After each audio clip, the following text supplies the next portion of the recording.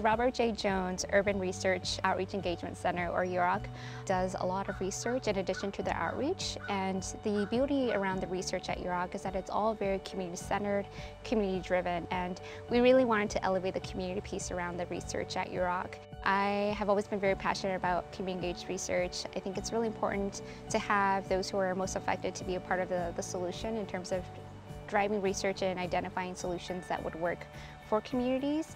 And so it made sense that you know we were co-creating the research priorities at UROC together. So we were fortunate that UROC had you know such strong relationships with these various stakeholders. And so the initial work groups actually happened in person um, in 2019, so before the pandemic. The whole process took over a year and a half long. So we started having these community conversations. What are the assets that you know community members bring as well as the university?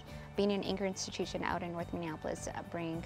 Well, the mission, I think, was let's create a framework around you know key areas that are important to the community.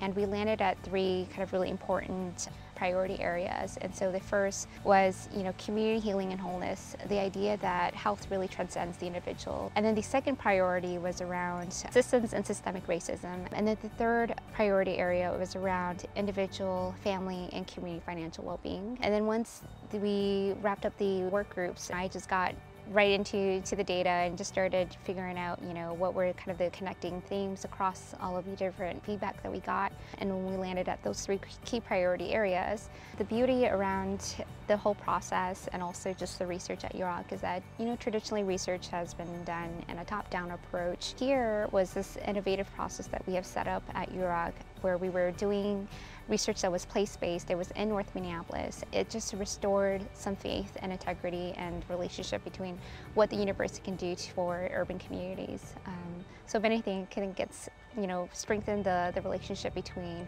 the North Minneapolis community as well as the, the University of Minnesota.